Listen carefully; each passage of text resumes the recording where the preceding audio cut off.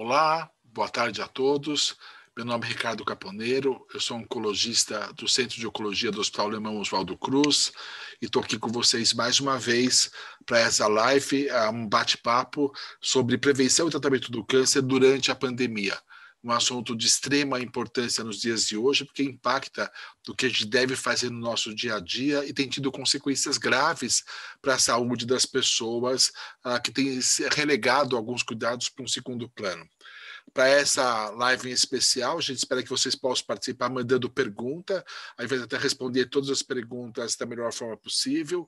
Eventualmente, se alguma pergunta ficar sem responder, pode ser mandado isso para o Facebook ou para o site do hospital, e a gente garante que a gente vai responder isso depois para vocês. Ah, da mesma forma que esse conteúdo vai ficar gravado, quem quiser reassistir para ver alguma parte vai poder assistir de novo também. Né? Aí vai ter hoje a participação da doutora Elisa Dalsazo Ricardo, uma oncologista ah, muito promissora do nosso hospital, né? uma oncologista brilhante, que vai estar entrando aqui no site junto com a gente, e, a, e vamos participar também com o doutor Valdec Jorge Davi Filho, um experiente oncologista do nosso serviço, que vai compartilhar com a gente essas visões dele uh, durante essa pandemia, como é que a gente tem lidado com isso, o que, que a gente deve fazer com relação a isso. Né?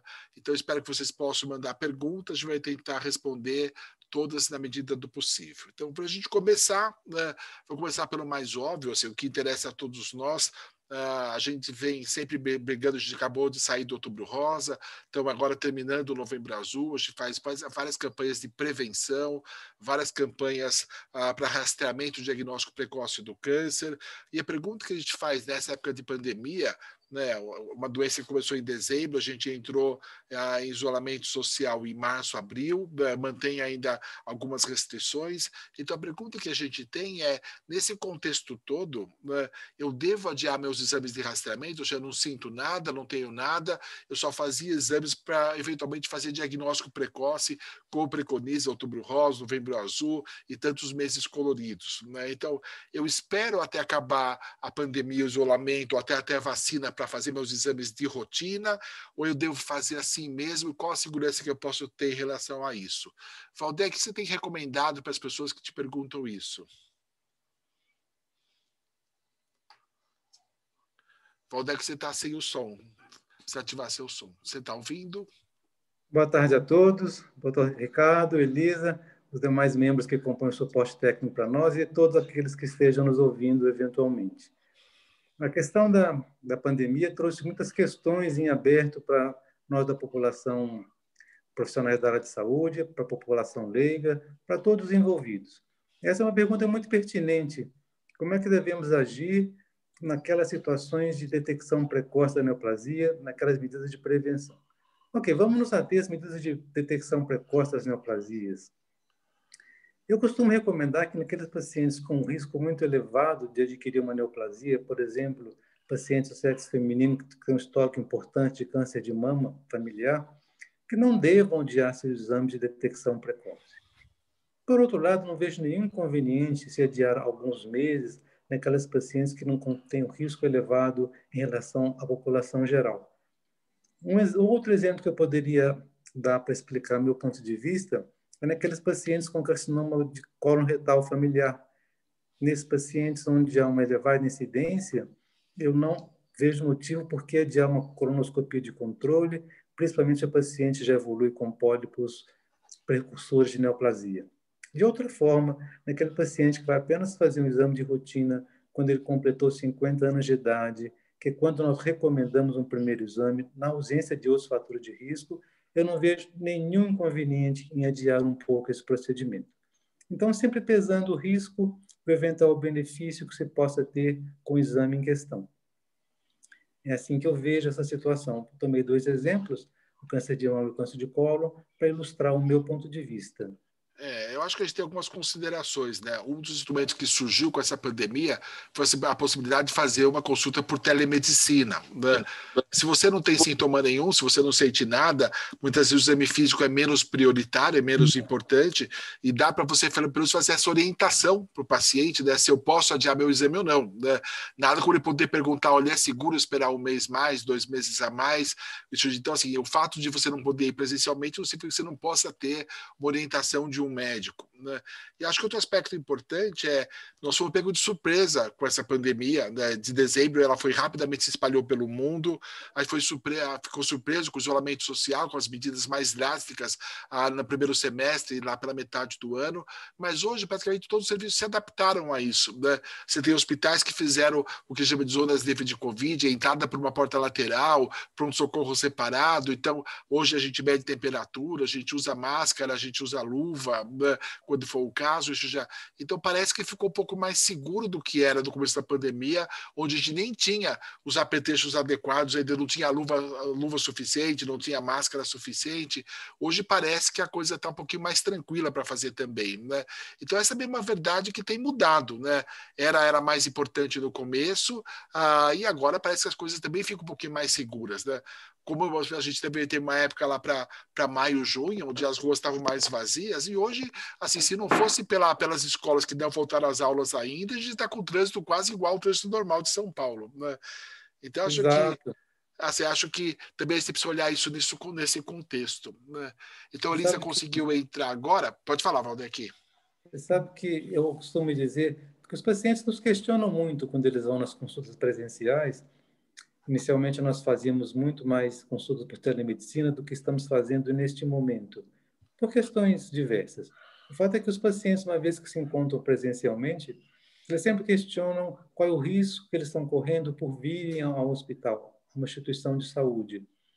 Eu costumo, de ser uma certa forma descontraída, comentar com eles que eu me sinto muito seguro no hospital, porque é um agendamento é, com antecipação, onde tem um rigor muito grande na entrada dos pacientes, eles são submetidos a uma triagem, assim como nós também somos submetidos a uma triagem, de forma a minimizar o eventual contágio caso a um de nós, tanto médico quanto profissional de saúde, esteja contaminado. Então, eu me sinto relativamente seguro na nossa instituição, com todos os cuidados que são tomados. E eu tenho conseguido, eu acredito que estou conseguindo transmitir essa segurança aos meus pacientes, que eles podem ir ao hospital de, de, com segurança quando se faz necessária a presença deles, né? A gente não está agendando nenhum paciente que precisa, que não precisa de um atendimento premente. Ou seja, dá para conciliar tudo isso, a prevenção, profilaxia e o atendimento ao paciente. Muito bom. Pô, a gente está falando de pessoas que não têm câncer, estão fazendo só o seu rastreamento nessa campanha agora do Outubro Rosa, Novembro Azul. Né? A gente tem já um grande número de pacientes que têm câncer ou que estão em acompanhamento após o tratamento do câncer. Né? E muitas vezes você fica com essa palavra, não, eu tive câncer, eu estou com câncer. Ah, tem muita gente que foi operado e está tomando um terapia adjuvante, às vezes hormonioterapia. Né? Ah, todo paciente de câncer tem o mesmo risco existem pacientes diferentes? Ou seja, alguém que está tomando, operou e está tomando tamoxifeno, alguém que tratou câncer há, há três anos atrás e está só em acompanhamento. Eles têm o mesmo risco risco de alguém que está em quimioterapia agora ou com doença avançada? Não, sabemos que não. Esse, existe uma gradação muito grande do risco do paciente contrair, não só contrair a enfermidade, como também, até de modo mais importante, de como evoluir uma vez que contraia a Covid-19. Mais importante que eu vejo é essa questão: como é que o paciente poderia evoluir sendo portador de uma neoplasia? Em que momento isso tem que ser considerado? O paciente que está com neoplasia, franca atividade, o paciente que está sendo tratado com tratamento antiproliferativo, o paciente nessas condições, ele tem seguramente um risco maior de evoluir desfavoravelmente. Em contrapartida, aquele paciente que está em segmento ou fazendo um tratamento que compromete pouco a sua economia, ele tem uma probabilidade maior de evoluir favoravelmente. A esse respeito, teve uma publicação recente, um relato recente na ESMO Ásia, novembro de 2020, que nós precisamos comentar, não sei se comentamos já ou se comentamos num outro momento da nossa discussão. Acho que a gente é, é um assunto bastante específico, a gente pode comentar daqui a pouquinho, pode achar que eu não vou esquecer de perguntar para você. Mas vou aproveitar que a Elisa venceu o trânsito, que a gente está falando que está quase voltando para o normal, ela conseguiu participar com a gente aqui. Ah, e a gente está falando, o Valdec já falou que nem todo paciente de câncer é igual, né? a gente tem gente com doença em atividade, tem gente que está com doença controlada, tem gente que está só em, em tratamento profilático para evitar recidiva. Ah, mas, Elisa, num paciente com câncer, o que, que é aumentado? É a chance dele pegar Covid ou a chance dele ter complicações com Covid? Ou seja, quem está com câncer em atividade tem mais risco de pegar, contrair o vírus? Uh, boa tarde, Ricardo. Obrigado pelo convite, né, por estar aqui hoje, né? Realmente eu tive algum problema com o trânsito, né, para chegar em casa, que realmente já voltou ao normal aqui em São Paulo, né? Então, respondendo a sua pergunta, né, a gente entende que o paciente que tem a doença em atividade, ele é imunocomprometido muitas vezes, né? Então isso é um fator de risco, né, para uma infecção oportunista pelo coronavírus, né? e também a gente sabe que alguns subtipos de câncer, né, eles têm um aumento da mortalidade quando a gente compara com outros tipos de câncer, né? Não é todo paciente com câncer em tratamento tem o mesmo risco, né? Então nós entendemos, os estudos mostram que os pacientes com doença onclimatológica, esses pacientes com tratamentos de leucemias, por exemplo, eles têm um risco aumentado de complicações pela infecção do Covid-19 e também, por exemplo, os pacientes com câncer de pulmão. Né? Nós temos um, um trabalho já publicado há alguns meses atrás, né, que é o TeraVolt, foi publicado no Congresso Americano né, de Oncologia, que mostrou um, um risco de complicações nos pacientes com câncer de pulmão de cerca de 20%, né? o que é aumentado em relação a outros tumores também, e também em relação com a população em geral. Bom, e aí, assim, tem uma pergunta também, assim, um paciente fez a cirurgia, né, operou a próstata, ah, completou o seu tratamento adjuvante, já faz ah, seis meses que ele completou o tratamento, né? Quando que o risco dele, que tratou um câncer, fica igual à população normal? Assim que ele acaba o tratamento, três meses depois, seis meses depois ou cinco anos depois, ele vai ser considerado um paciente igual a todo mundo? Uh, acho que a, a resposta né, para essa pergunta né, depende do, do tipo de tratamento que o paciente fez. Né? Então, se o tratamento dele foi exclusivamente cirurgia, né, a gente vai pensar que muito provavelmente, após a recuperação cirúrgica, ele ter se restabelecido, ele tem o mesmo risco que a população no geral, né? Um dado curioso de câncer de próstata, né? A gente teve um, uma análise uh, italiana, né, no auge da primeira onda da pandemia na Itália, que mostrou que os pacientes que estavam em uso de hormonioterapia né, para o tratamento do câncer de próstata, eles tinham uma incidência menor de complicações e de infecção pelo Covid-19, isso na base de dados italianos. Então, isso até se levantou a hipótese né, do papel do receptor da testosterona como um, algo importante aqui na infecção pelo coronavírus, mas que não se comprovou em outros estudos, né? Mas foi um, um dado observacional gerador de hipótese. Muito bom. Um dado interessante, Cap, em cima dessa questão, dessa pergunta, ou seja, uma vez que o paciente seja submetido a uma cirurgia com intuito curativo e essa cirurgia tenha sido radical, ou seja, removeu toda a doença existente, toda a doença neoplásica, esse paciente, durante o período de resposta endócrino metabólica ao trauma, ele naturalmente vai estar mais propenso a contrair a infecção e a evoluir desfavoravelmente. Mas essa resposta tem a duração de poucos dias, ou seja, em questão de três, quatro semanas, esse paciente estará com, sua, com seu risco igual da população considerada normal. Muito bom. Bom, a Elisa, a Elisa falou que alguns pacientes vão ter complicações mais graves, outros pacientes não vão ter complicações, ela citou o Teravolt. Valdec, como é que eu sei dos meus pacientes? Qual é o que tem mais chance de complicar? Agora você pode falar do trabalho da ESMO Ásia. Quais são os pacientes mais vulneráveis a complicações? Essa é, é uma preocupação que todos nós temos, né? Uma vez que nós estejamos frente aos nossos pacientes, quer em tratamento ou em segmento, uma vez que eles contraem a enfermidade, como é que eles vão evoluir? A gente não compreende todos os fatores prognósticos envolvidos em todas as suas todos os seus detalhes. Mas esse é um trabalho muito interessante que tentou mostrar para nós o risco do paciente evoluir mal. E o que, que os autores fizeram? Eles selecionaram mais pouco mais de mil pacientes em dois grandes grupos, um grupo que eles chamou de grupo de investigação e outro de validação, de alguns critérios para medir a resposta inflamatória, no sentido de nos informar quais os critérios que poderiam predizer uma evolução desfavorável. Então, o que, que eles estudaram? Estudaram a quantidade de glóbulos brancos desses pacientes, particularmente os neutrófilos, que são aqueles glóbulos brancos responsáveis por combater, num primeiro momento, as infecções bacterianas, o nível de linfócitos, que são aqueles glóbulos brancos responsáveis por combater as infecções virais num primeiro momento. Muito bem, não só o índice absoluto desses dois glóbulos brancos, mas a contagem global dos glóbulos brancos. E analisaram também a albumina plasmática, a albumina é uma forma de você medir o estado nutricional do paciente, e, e analisaram também o PCR, um exame de sangue simples, que, muda, que visa medir a quantidade de atividade inflamatória que aquele paciente está vivendo naquele momento. Pois bem, o que, é que eles encontraram? Que o grupo de pacientes mais propenso a evoluir desfavoravelmente é aquele grupo de pacientes que apresentava o binômio hipoalbuminemia, ou seja, algum grau de desnutrição, e linfopenia, ou seja, algum grau de falta de glóbulos brancos responsável por combater as infecções virais. Então, esse grupo de pacientes com este binômio é o que maior probabilidade tem de evoluir desfavoravelmente. Os demais fatores também são relevantes, porém numa menor proporção.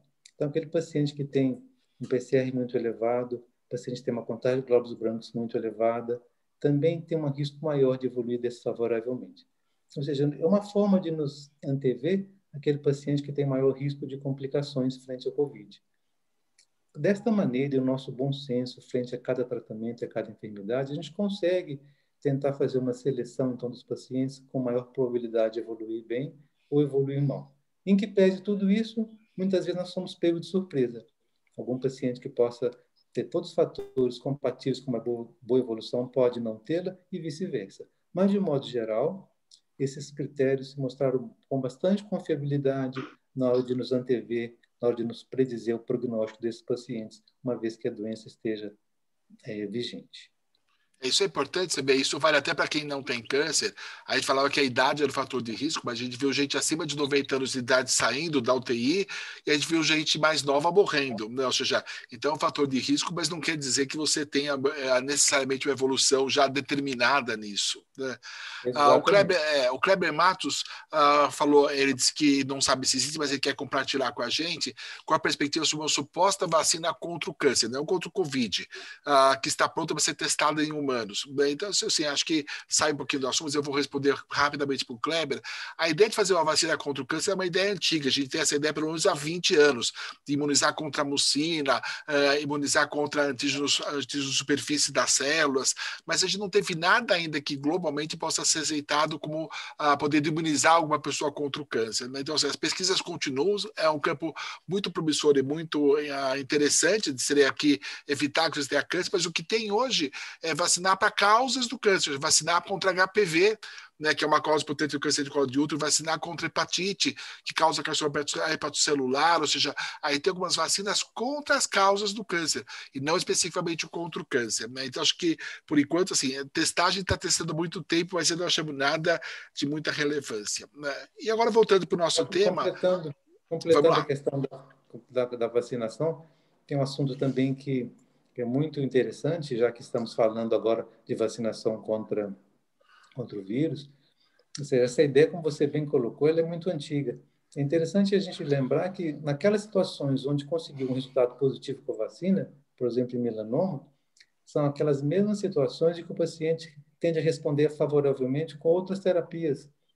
No caso que eu exemplifiquei melanoma, mesmo citostático da carbazina, mesmo interferon, ou seja, aquele paciente que tem um comportamento mais favorável, ele também tende a se comportar melhor frente à vacina. Naquelas situações onde a evolução era desfavorável, a vacina até hoje não teve nenhum benefício comprovado, com exceção, como você bem colocou, contra as causas da vacina. Aqueles vírus que sabidamente desencadeiam câncer, então esses sim podem ser imunizados e aí se evitaria o desencadeamento do câncer por aquele vírus. Bom, a Elisa falou uma coisa muito interessante, juntando com o que o Valdec também falou sobre os, os, perfis mais inflamatórios. Né? A Elisa falou que tem um estudo italiano que mostrou que pacientes com câncer de próstata em tratamento tinham um risco aparentemente menor. Né? Você acha que esse tratamento para o câncer de próstata pode estar influindo nesse estado inflamatório do doente? Ou você vê uma explicação plausível acho... para esses pacientes terem menos doença?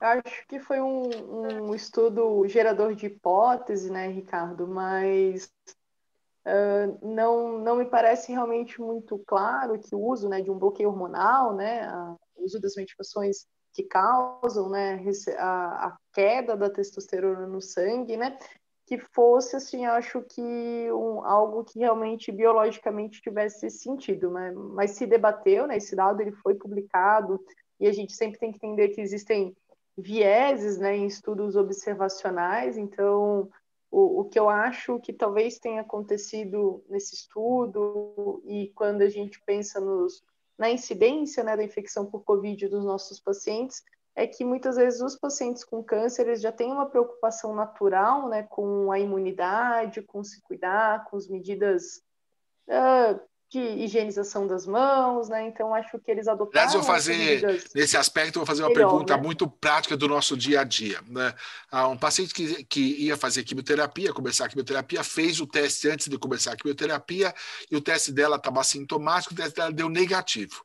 Ela começou a fazer quimioterapia ah, e assim que ela começou, o cônjuge dela testou positivo e estava sintomático. Né? Mas ela já começou a fazer quimioterapia, ela está desesperada agora porque ela fez quimioterapia e teve contato contato com o cônjuge. O que você recomenda nessa situação? Deu para entender? Se o paciente começou a fazer uh, quimioterapia, que... testou antes Entendi. negativo, e é, em seguida dela começar a quimioterapia, o cônjuge testou positivo, ela teve contato com o cônjuge. O que eu faço com ela agora? Está desesperada, achando que ela vai pegar Covid e morrer do Covid.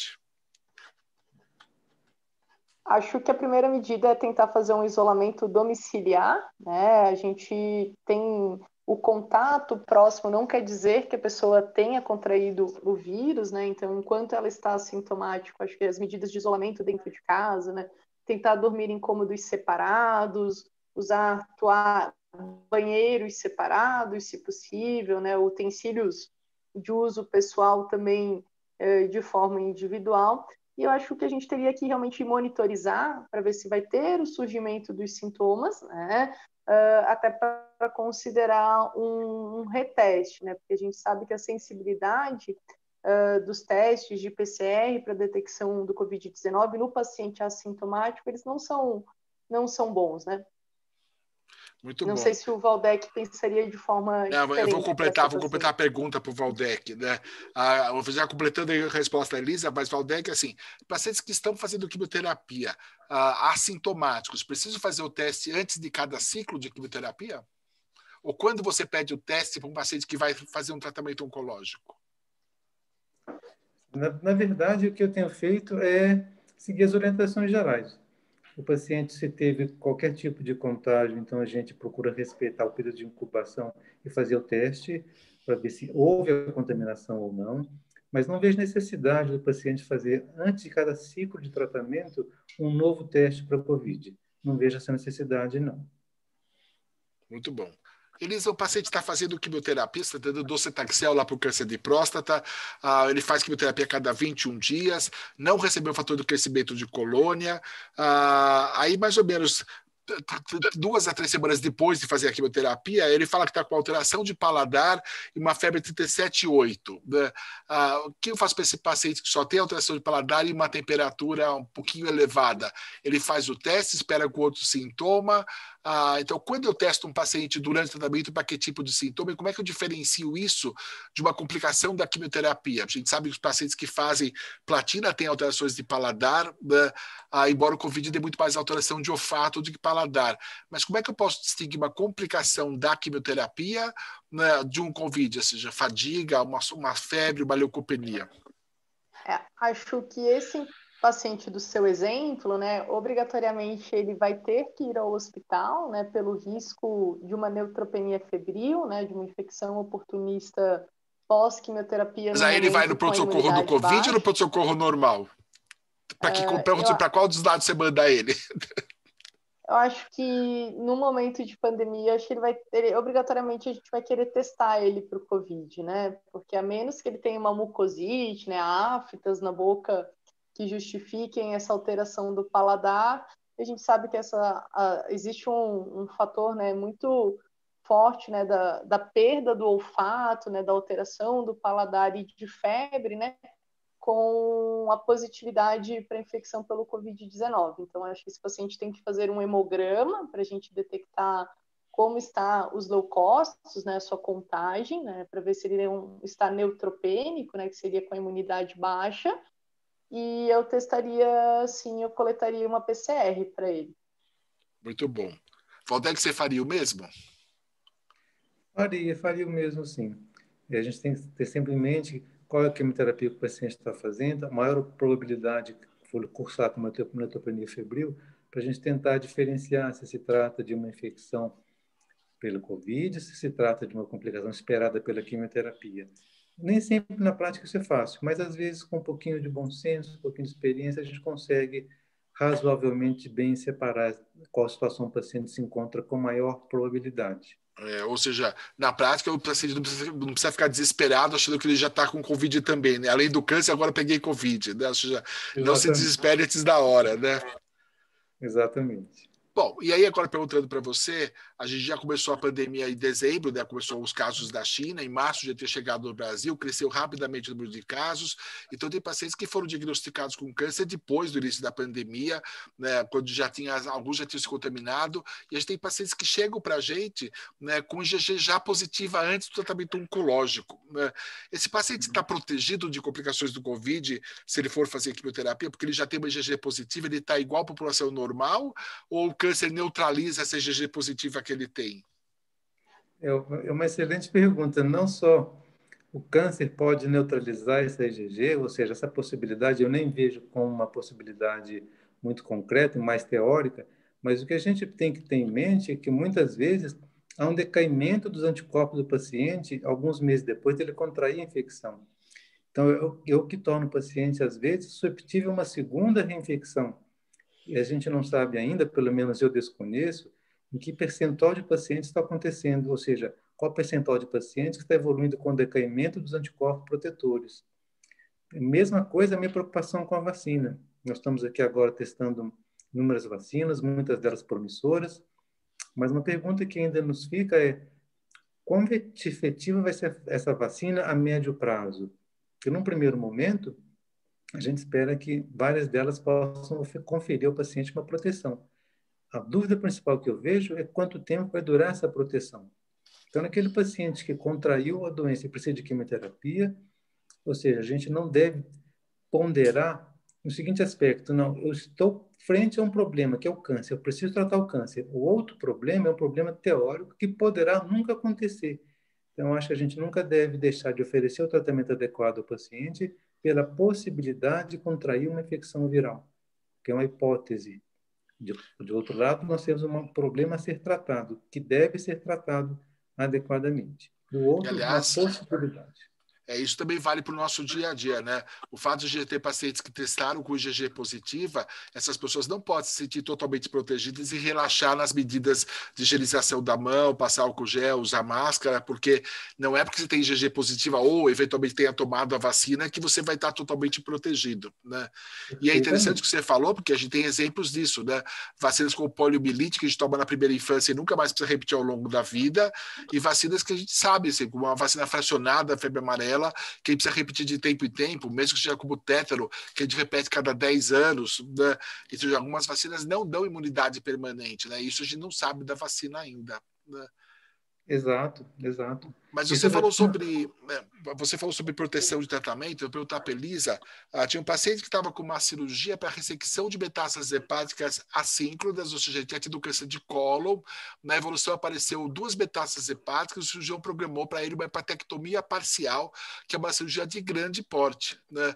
E ele está com medo de fazer essa cirurgia.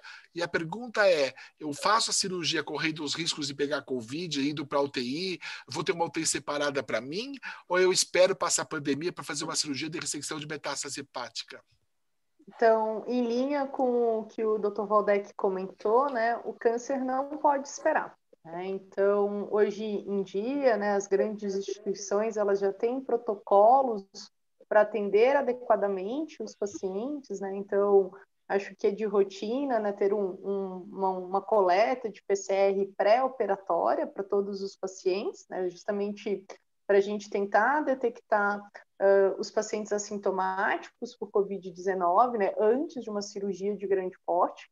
Né? Uh, a gente tem na nossa instituição separada, né, uma UTI para os pacientes com Covid, uma UTI não Covid, né, justamente para tentar isolar fisicamente os pacientes e as equipes que cuidam desses pacientes, e até mesmo nas unidades de internação. Né? E pelo que eu conversei com colegas de outras instituições, isso também foi tomado nos outros hospitais. Eu acho que com essas medidas de segurança que a gente vem adotando desde abril, a nossa taxa de complicações por Covid em pacientes que sofreram uma cirurgia eletiva programada, ela é extremamente baixa. Né? Então, eu diria que é bastante seguro para os pacientes manterem o seu tratamento, sua programação, desde que respeitados os devidos protocolos. Aliás, isso é muito importante. Né? A gente tem discussões de casos todos os dias na hora do almoço, e foi discutido um caso de uma moça que tinha um câncer de colo do útero, estava programado para ela fazer uma esterectomia total uh, abdominal, né? uma cirurgia grande, de grande porte, e ela, por conta própria, resolveu abandonar trabalho de esperar passar a pandemia. Né?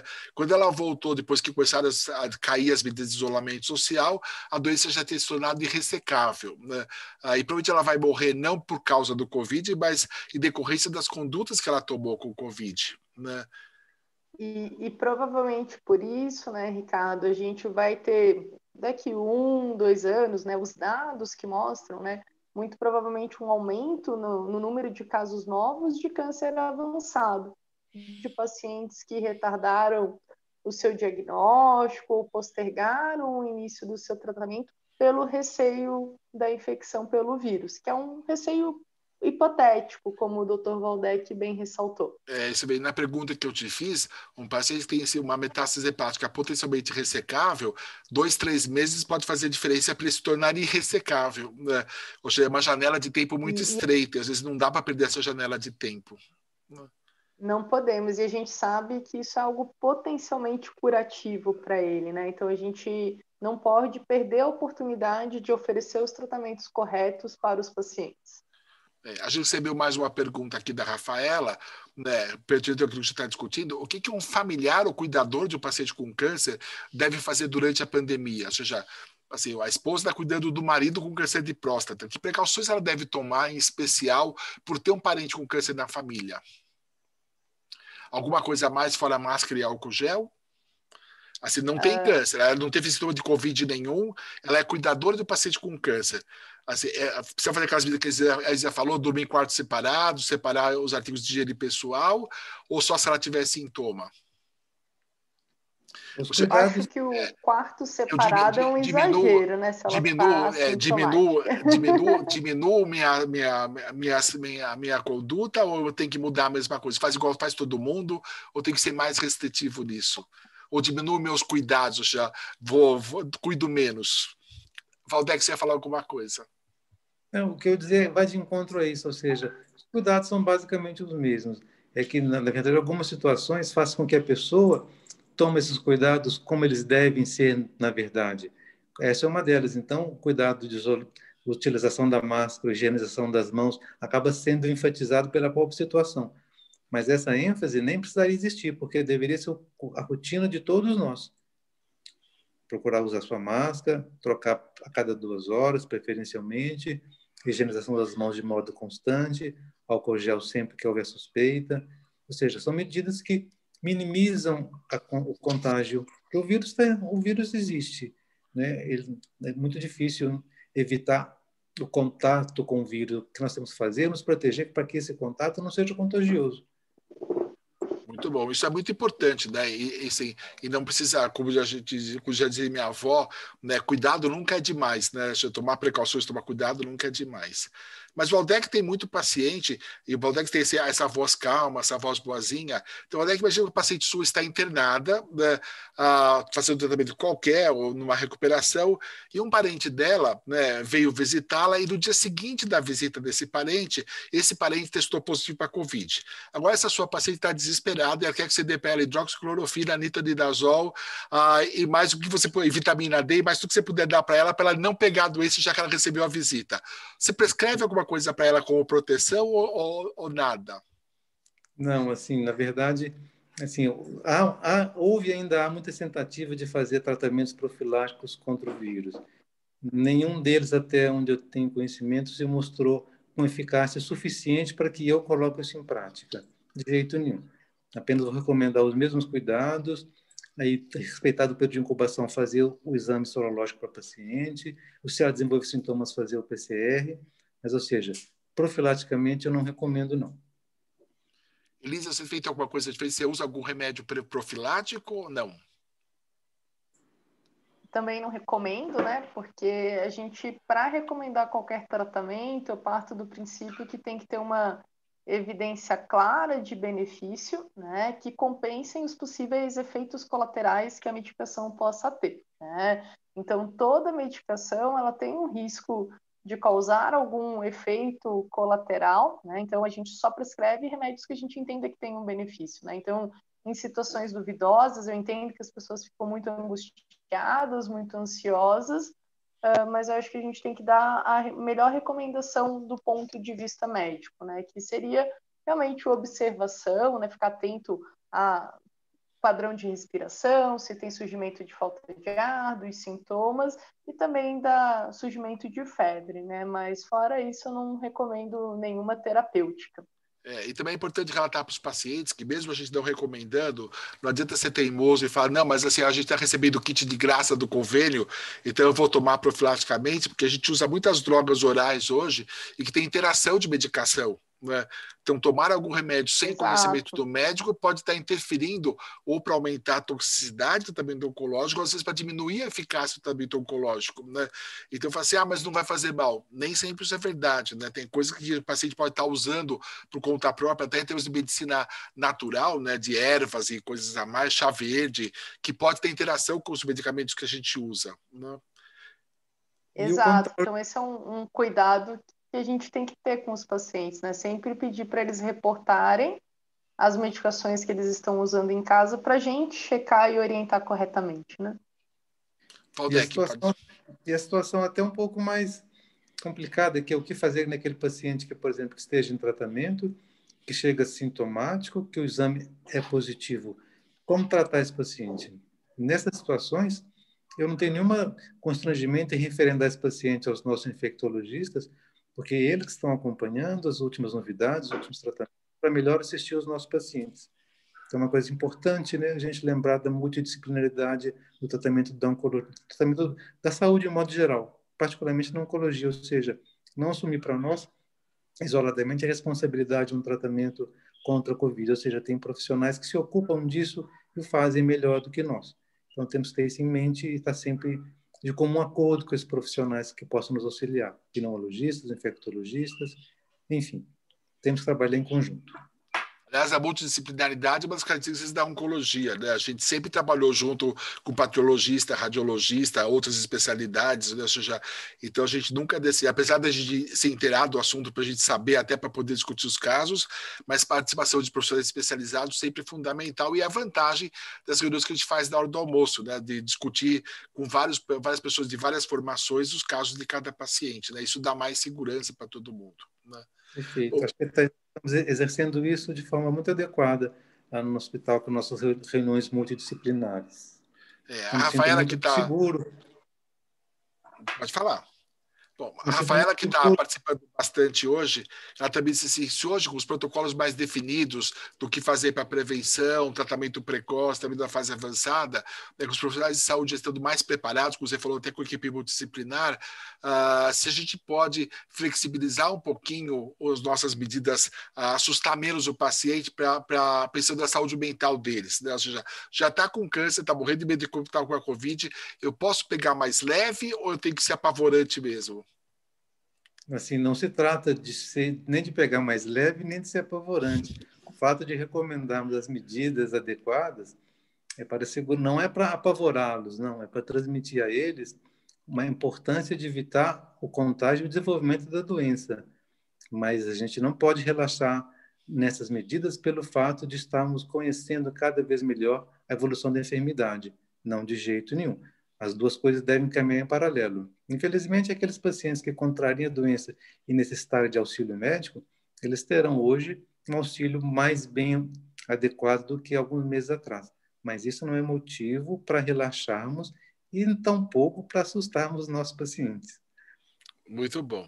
Bom, a gente falou sobre o paciente que procura pronto-socorro sem saber se é Covid ou se é complicações da quimioterapia, mas um pouco esse paciente que tinha ido no pronto-socorro, o teste dele de Covid ficou pronto dois dias depois e deu positivo, e ele começou a ter sintomas leves de falta de ar, ele foi internado, não precisou ir para UTI ainda, mas ele tem que fazer quimioterapia daqui dois dias. Né? Então, ou seja, então o paciente que está com Covid confirmado, começou a ter sintoma respiratório, ah, e nessa situação, o que, que eu faço com a quimioterapia dele? Eu adio, adio por quanto tempo ou quando vai ser seguro retomar a quimioterapia? Sim. Posso responder? No primeiro momento? Pode responder os dois, pode responder os dois. Por favor, Elisa, por favor. Uh, eu, a gente não recomenda, né, que seja feita a quimioterapia nesse momento, né, porque a gente sabe que a quimioterapia vai diminuir a imunidade do paciente, então a gente tem que aguardar a plena recuperação né, da infecção pelo Covid para poder fazer o tratamento quimioterápico adequado. Né? A gente entende, né, eu diria que as coisas importantes em primeiro lugar. Né? Então, a gente vai tratando um problema de cada vez. A gente não pode postergar o tratamento do câncer pelo risco de ter Covid. Mas se hoje meu paciente está internado com Covid, eu preciso tratar essa infecção respiratória adequadamente para que ele evolua bem e que possa, após a sua recuperação, geralmente a gente respeita os 14 dias, né, para assim prescrever a quimioterapia com segurança. Perfeito. perfeito, concordo plenamente, só lembrando que a gente fica muito mais seguro em prescrever uma nova série de quimioterapia, ou ciclo de quimioterapia, com esse paciente com a função pulmonar completamente recobrada. Aí sim, porque é a grande preocupação nossa é comprometimento da função pulmonar. Então, uma vez que ela esteja recobrada, eu acho que o paciente, estando com os anticorpos em níveis adequados, pode retomar seu tratamento. Até que isso aconteça, não é recomendável. É preferível adiarmos um pouco mais até que isso aconteça. Você esperaria ter alta do hospital? Sem dúvida, não só do hospital, mas como recuperação da sua função ventilatória, que isso pode ser concluído até nível domiciliar. Mas sem essa conclusão, sem essa recuperação total da função ventilatória, eu não me sentiria confortável em reiniciar sua quimioterapia. Felizmente, isso não, isso não tarda muito na grande maioria dos casos, né? Isso tende a acontecer com poucas semanas de evolução. Bom, até uma pergunta que a gente está acostumado a responder, porque a gente tem muitas outras vacinas disponíveis hoje, né? inclusive febre amarela, sarampo, para quem não foi vacinado. Ah, e toda pergunta que a gente faz, quando o paciente vai no posto, fala assim: ah, você está fazendo quimioterapia, você tem câncer, você não pode tomar vacina. Né? Ah, os nossos pacientes, eles vão poder tomar a vacina ou não? Eu, eu acredito que sim, porque nós, o que está se desenvolvendo é vacina com partícula viral, não está se desenvolvendo vacina com vírus vivo.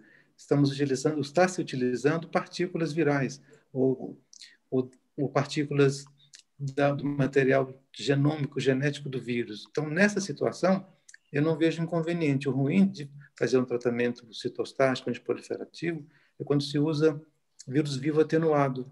Aí sim, esse vírus vivo atenuado pode deflagrar a infecção por si só. Muito bom. Tem uma pergunta interessantíssima aqui da Denise. Né? Obrigado, Denise, por ter participado. Então, Lícia pode responder essa. Se a quimioterapia ou a radioterapia pode vir prejudicar a eficácia da vacina. Se eu estiver tratando, a vacina pode não funcionar em mim?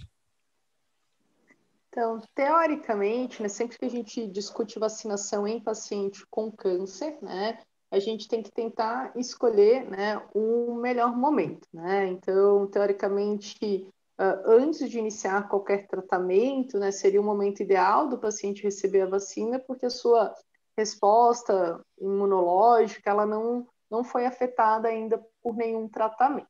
Mas entendendo que a gente está em vigência de uma pandemia, né, eu acredito que a partir do momento que a vacina estiver disponível, a gente vai sim recomendar que os pacientes façam a sua vacina, né? Sabendo que talvez uma parcela que a gente não consegue mensurar não vai desenvolver completamente a imunidade, mas que quando a gente pesa os prós e os contras dessa atitude, provavelmente a gente vai estar mais beneficiando os pacientes do que prejudicando. Né? Mas, idealmente, é sempre bom vacinar o paciente antes de iniciar o tratamento, é que muitas vezes, e nessa situação, a gente não vai ter essa escolha, né? Ou seja, pode ser que na prática, de fato, alguns tratamentos que a gente usa possam diminuir o paciente ficar menos protegido com a vacina. Né? E nesse aspecto, Sim, isso Valdec, Valdec, vacinas, né? É, Valdec é um grande especialista de melanoma, né, onde a gente usa imunoterapia de rotina. Né? Como é que fica imunoterapia e vacina? Ou seja, duas coisas que agem sistema imunológico. Vai funcionar mais, vai funcionar menos, uma coisa prejudica a outra. Que precauções tem que tomar para pacientes que estão em imunoterapia? Antes disso, deixa eu só completar o meu ponto de vista da questão que a Denise colocou, acho que Denise, perguntando se os tratamentos podem interferir na eficácia da vacina. Então, eu achei muito interessante a pergunta e, teoricamente, eu diria que sim.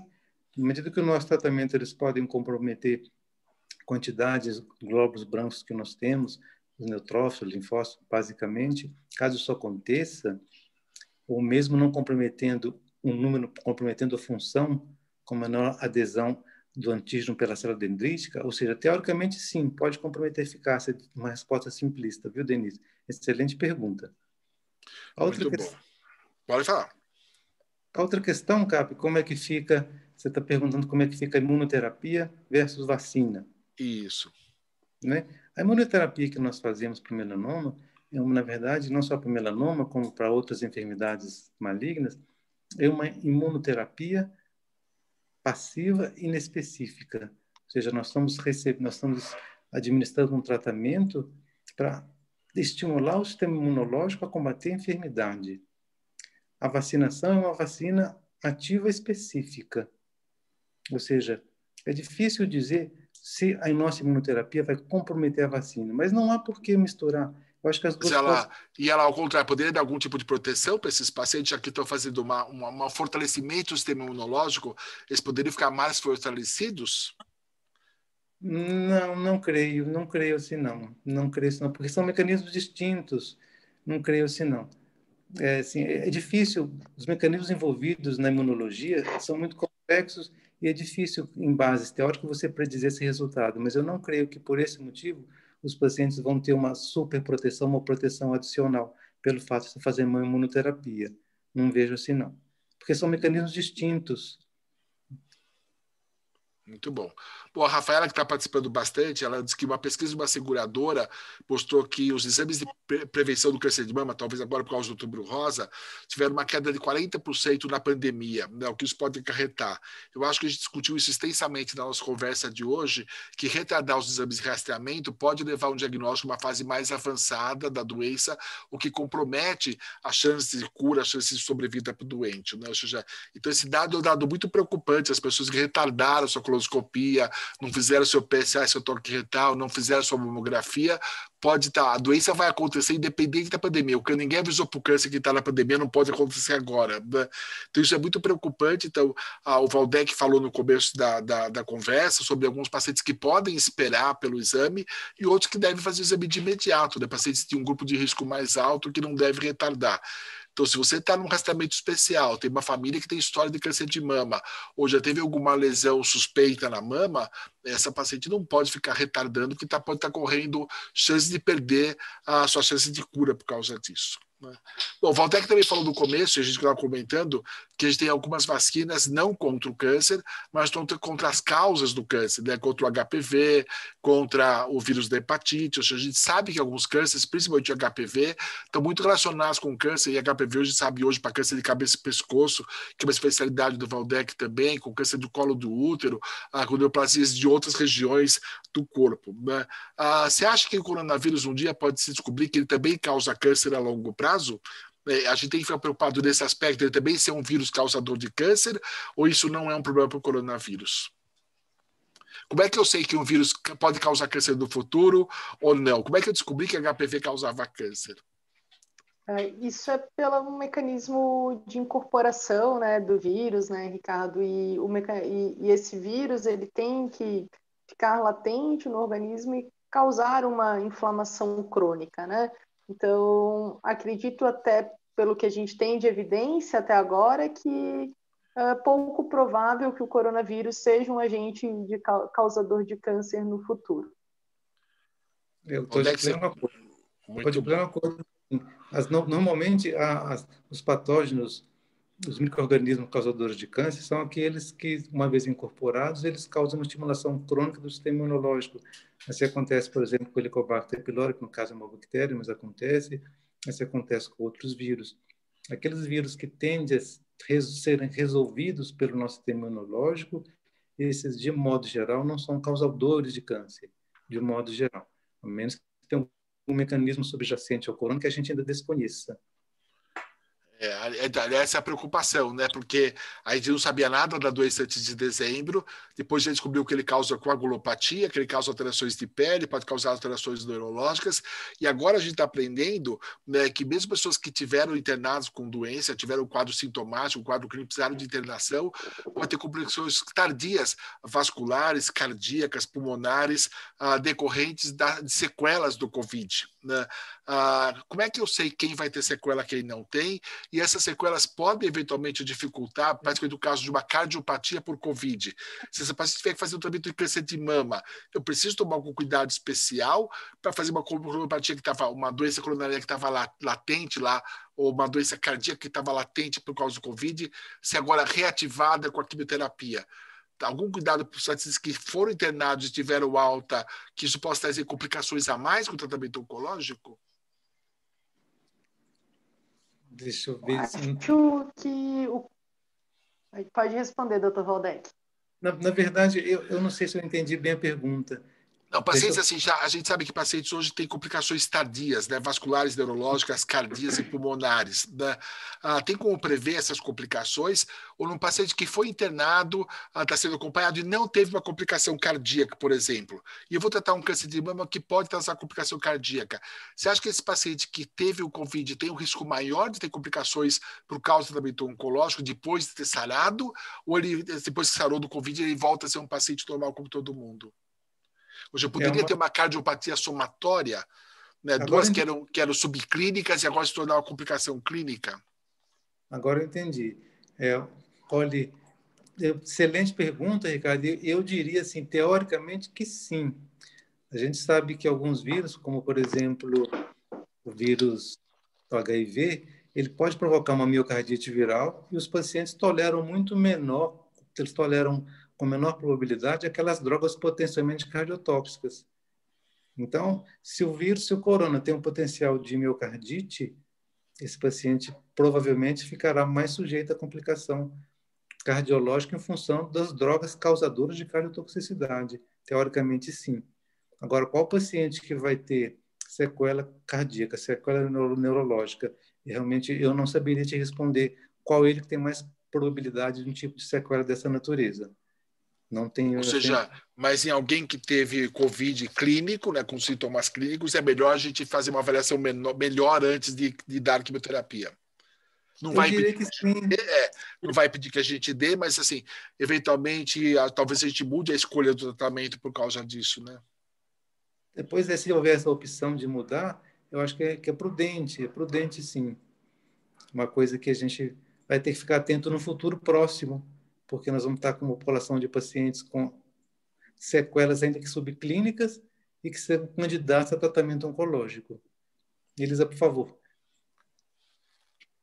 Não, eu concordo com isso, né? A gente, eu acho que a minha recomendação numa situação como essas, né, é encaminhar o paciente para um cardiologista, né, que esteja acostumado a lidar com cardiotoxicidade por causa do tratamento oncológico para nos auxiliar no acompanhamento, né? E como a gente conversou antes, essa questão da multidisciplinaridade, né? A cardio-oncologia é uma subespecialização que eu tenho alguns colegas cardiologistas que se interessam bastante e eu acho que auxilia bastante no cuidado do paciente. Bom, o papo com vocês foi extremamente agradável, o tempo passou voando, a gente está quase completando nossa uma hora, então já está na hora de fazer nossas considerações finais sobre alguma coisa que a gente conversou, vocês querem mostrar algum detalhe ou alguma coisa que a gente não conversou, vocês gostariam de falar. Valdec, suas considerações finais em dois minutos. Ok, assim, para finalizar, assim, até prefiro abordar uma coisa que a gente não, não comentou, ou seja, o que, que assim, o que, a gente observa de diferente de outras pandemias do passado que já tivemos? Essa não é a primeira, seguramente não vai ser a única. E o que eu vejo é um inconformismo muito grande de toda a comunidade leiga, entre nós também, ou seja, nós estamos na era da nanotecnologia, estamos na era da inteligência artificial e estamos com a mesma dificuldade de combater uma pandemia, por exemplo, de, como 100 anos atrás, em se tratando de pandemia provocada por um vírus. Então, o que se deve a isso? No meu modo de entender, se deve a uma evolução tão grande em outras áreas e a gente está impotente ainda frente relativamente impotente frente a essa nova pandemia. É isso que eu vejo que está motivando tanto nosso nosso empenho em poder combater, em fazer profilaxia dos nossos pacientes. É o nosso inconformismo em não combater eficazmente a pandemia. E as nossas frustrações ao final do dia, né? Exato. Elisa, Elisa, suas considerações finais. Bom, como hoje é o Dia Nacional né, do Combate ao Câncer, né, eu gostaria de, de encerrar minha mensagem uh, com a frase né, de que o câncer ele não pode esperar, né, então a gente não pode retardar o diagnóstico, a gente não deve retardar o início do tratamento, né, acho que isso é importante, as campanhas de conscientização, Outubro Rosa, o Novembro Azul, elas são importantes porque elas muitas vezes lembram a população que esses problemas existem, né, e que a gente a gente tem que fazer os nossos exames e tentar trabalhar com a prevenção, né? E que mesmo durante a pandemia, a gente tem que procurar buscar fazer os tratamentos adequados, entendendo os riscos e as possíveis complicações do Covid, mas que a gente deve realmente tentar prevenir o câncer. Né? E a Rafaela me corrigiu, o Dia Nacional de Combate ao Câncer é amanhã. A gente está adiantado, a gente está adiantado. Bom, ah, queria lembrar então a todos, agradecer a todos que participaram, mandando suas perguntas, ah, dizer para aqueles que não puderam mandar que pode mandar as perguntas para o site do hospital e quem quiser reassistir ou quiser divulgar, por favor, o material vai estar disponível no Facebook do hospital e no site. Ah, obrigado, Elisa, foi excelente sua participação. Muito obrigado, Valdec, brilhante como sempre. Até uma próxima live. Muito obrigado e bom final de tarde, boa noite para vocês. Eu que agradeço. Boa noite.